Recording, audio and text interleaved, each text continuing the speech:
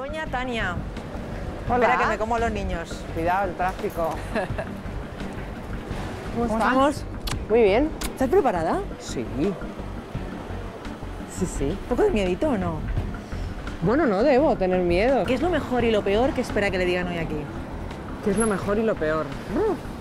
Bueno, yo creo que estas cosas luego nunca son terribles. La gente es mucho más educada que algunos tertulianos.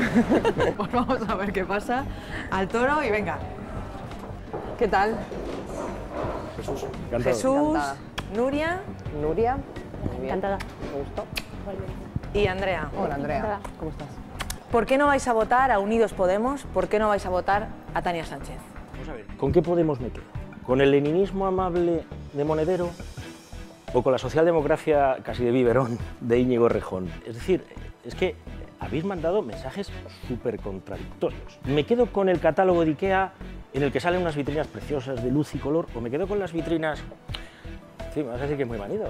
Estas vacías de los supermercados de Caracas. Es que claro, yo no sé con qué modelo de, yo no sé con qué modelo de, de- de Podemos quedar. Pues mira, yo casi siempre me quedo con el Podemos que no sale en la televisión.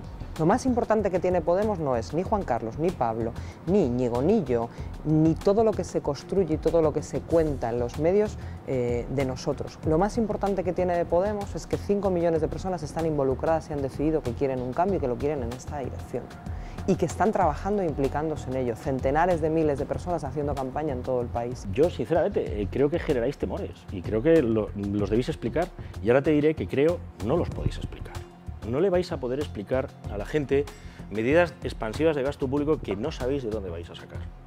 Que ni siquiera os van a permitir, la Unión Europea, que tanto denostáis, ni siquiera os va a permitir explotar. Como nosotros lo que le hemos explicado a la gente es que este país es la cuarta economía del- de Europa, que no somos Grecia, que Europa no se puede permitir que España no forme parte de la solución del conjunto de Europa. Lo que no vamos a hacer es ir a Europa a decir que pase lo que pase en este país y le pase lo que le pase a la gente de este país, vamos a cumplir con los recortes que nos están pidiendo. No, eso lo dice Mariano Rajoy. Quien no va a poder explicar que no cumple con su programa es quien ya ha dicho que va a hacer unos recortes que no se reflejan en su programa electoral y quien está contando a los españoles que va a rebajar eh, los impuestos, que va a subir eh, la inversión pública a la vez que le está diciendo Europa que va a hacer un recorte brutal. Eso es lo que no se puede explicar.